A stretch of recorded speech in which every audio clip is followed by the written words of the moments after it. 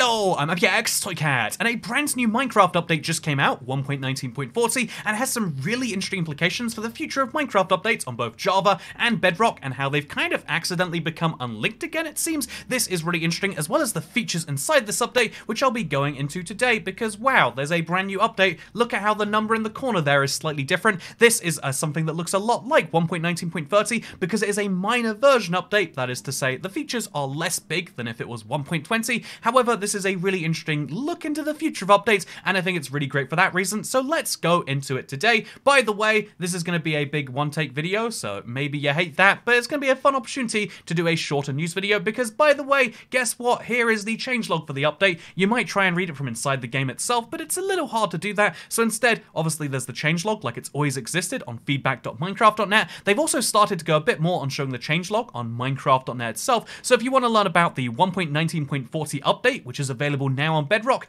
a Minecraft Bedrock Edition update. I mean, isn't that kind of clarified when you say 1.19.40 update on Bedrock? That is a, whatever, there's, there's a brand new update out right now, and uh, here is the basic gist of it. It is very heavy on parity and fixes. A big thing that Bedrock needs to do, which Java clearly feels it doesn't need to do as much, is adding parity fixes to the game. There are lots of ways in which Java and Bedrock are different, and one of the ways they've just fixed that is when on Java, you could be killed by someone using a renamed weapon. Let's say you renamed your weapon something ridiculous and hilarious, like the, the rusty trombone. And now when Dave kills Andrew, it says Dave was killed by Andrew with the rusty trombone. I, I got the order around on that. Or you could name it something silly like communism, and it's like Andrew just killed Dave with communism. And it's like, ha ha ha ha ha ha ha. Wow, that's a fun name for an item. You can now do that and make some silly death messages if you really want to. I'm sure you can come up with a great variety of them, which is why renaming your weapon is extra important, or the opposite of important, depending on whether you think silly is good. We've also got getting killed by a mob with a renamed weapon now produces a death message with the same item name, which means if you give your sword, which is called capitalism, to a zombie, and then the zombie kills you, it'll say, zombie killed IBX toy cat using capitalism, which I mean, I'm just saying, stealing from you, maybe that's, uh, you know, there's there's got to be something great in there for you, just like how the roofed forest, the savanna mutated and birch forest biomes use the correct grass colors, so they've slightly changed the game itself for that, which is really interesting to say the least. We've also got changed bubble column we've got uh, decreased hunger amount while swimming, a lot of tiny changes to make the game more like Java. I think the other ones you might care about are um, We've got things like, uh, as you can see, uh, the librarian villagers will now offer enchanted books of Curse of Banishing and Curse of Binding. This is something you would probably never want naturally. Um, you know, like uh, having the Curse of Banishing and Curse of Binding can only really be used to troll other people. You'd never want it to put on your own stuff, but now if you want to get curses in legit survival and put them on weird armor, like have a leather helmet with the Curse of Binding, you can now totally do that. And I think that is a lot of fun as an option. And uh, so yeah, there's a lot of things like that. There's also a lot of fixes. So fixed crashes, fixed crashes, fixed bugs, fixed bugs. There's a lot of that through here. You'll also find uh, some weird ones that you might find very useful. So NPCs can now have no name hiding the name tag above their head. Ooh, spooky. We can have uh, baby villagers will again accept flowers from iron golems. There's, there's fun sorts of fixes in here. Some of these I didn't even assume were fixes. Like uh, way down here, you can see that like, okay, so um, like as I was reading for this update, I was like, I was surprised uh, relatively speaking, uh, by some of these things. So for instance, uh, there's one here regarding boats. So boats would disappear when pushed through an Nether portal, and also when a mob is a passenger in a boat, neither the boat nor the mob would be allowed to change dimension. I didn't know that was a bug. I assumed Minecraft was just broken. So yeah, this update fixes all of that stuff. It's very good, it's very positive, all things considered.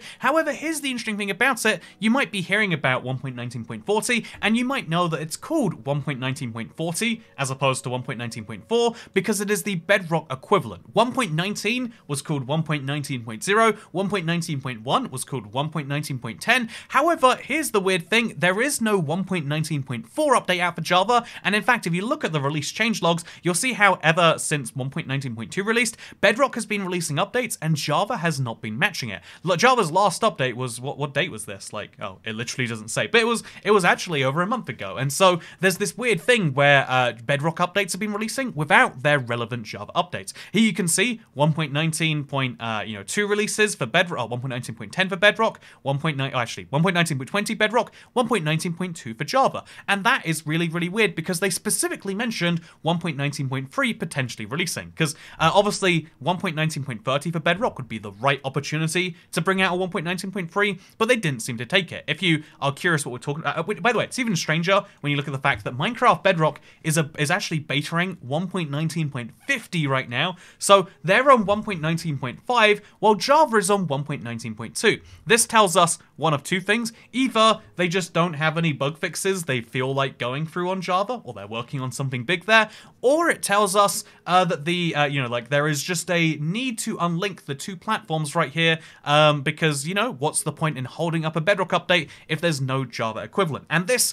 uh, is going to be extra interesting now that we know that point updates minor version updates like 1.19.2 as opposed to major version updates like 1.19 and 1.19.0. Um, it's really interesting because if you look at the future of Minecraft as they clarified in the Help Center, uh, they have said that going forward from 1.19.3, specifically naming that version, Minecraft Java Edition will start to release multiple minor versions per year, including content improvements they think are ready to ship.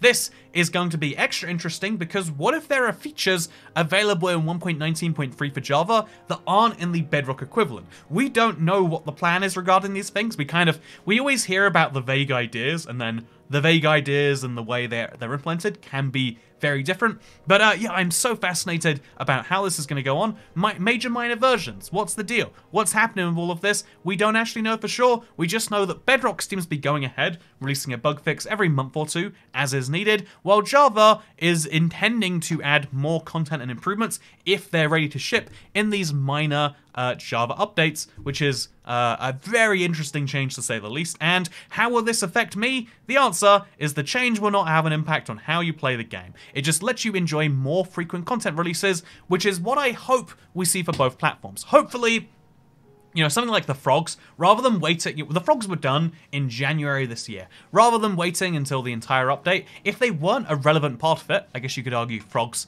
are a part of the wild update, because frogs get wild, man. Uh, but in every other case, you would argue that actually um, these new uh, smaller features, like, I don't know, the, the foxes didn't really fit 1.14 in my opinion. The phantom didn't really fit 1.13. Uh, when there are features like this, maybe including the sniffer, um, we could see them come out in these smaller version releases uh, as a way to bring more content to the game while we're waiting for these big updates like 1.20, releasing by the way 2023. And if I'm not mistaken, 2023 is a big year. There's a lot of lot of days in the year 2023, and so it's going to be very interesting to see how that goes down. It's also interesting to see, by the way, like, ooh, wow, we uh, tomorrow is uh, going to be snapshot beta day. There's going to be some new things coming for 1.20, maybe we could expect. But uh, for now, all we know is there's a brand new update. It just came out. It has a lot of cool vanilla parity things. You probably will notice uh, most slight different color changes to biomes, being able to now trade for curses if you want to, increased Ravager speed to make it a little bit scarier, um, as well as uh, a lot of, uh, in increase the uh, hitbox size, and then even more interestingly, if you look at the way um, Scaffolding works. Uh, scaffolds will now burn at the correct rate of one quarter of an item. They used to be very OP, now they kind of suck. You should always burn bamboo and not scaffold, which by the way, I guess you should have a bamboo farm. Get ready for 1.20 maybe. Uh, this was my one take video. How did you feel about it? I hope you enjoyed it because it's over now. Um, yeah, 1.19.40, it's out now, and for future updates we'll have more gameplay and stuff, but Harrison's... Yeah, Harrison's actually away from his computer because he's visiting. Uh, I mean, there's a, there's a fun story about that. But yeah, for now, uh, come watch my live stream. It's happening in a little bit. We hit, if you're curious, we, if, if, you, if you really are curious here, we hit 750 members, so we had a very fun stream this Saturday uh, that is definitely going to stay in the unlisted playlist stream. Uh, however, uh, we're now only 135 members away from playing Jar you know, small regular size Salmon Edition for a day, which I think would be a lot of fun. So come over to the stream if you feel like being a member. You can do that and it'll have a fun alert pop on stream. And if you just want to watch me play some Super Flat, Super Flat 41 is happening right now probably as you're watching this video. So see you there. Goodbye.